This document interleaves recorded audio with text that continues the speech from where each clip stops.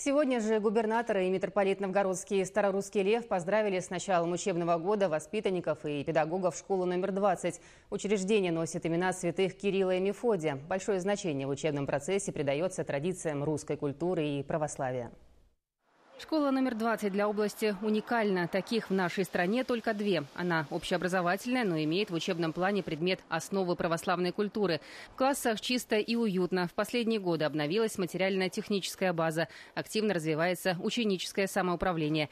Отличникам вручается стипендия митрополита Новгородского и Старорусского Льва. Сегодня здесь 334 ученика, но желающих обучаться намного больше.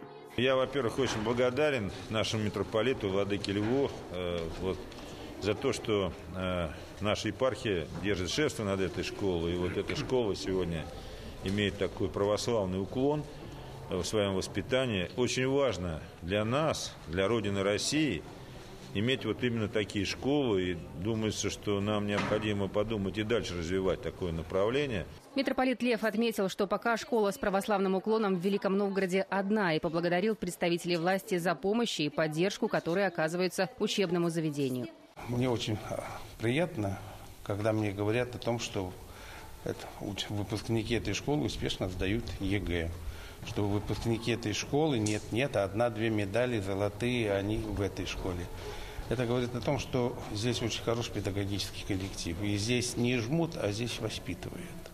Школьный хор, в котором поет даже директор учебного заведения, подготовил для гостей небольшой концерт. А Сергей Митин сообщил о решении предусмотреть в бюджете 2017 года средства на строительство 20-й школе спортивного зала.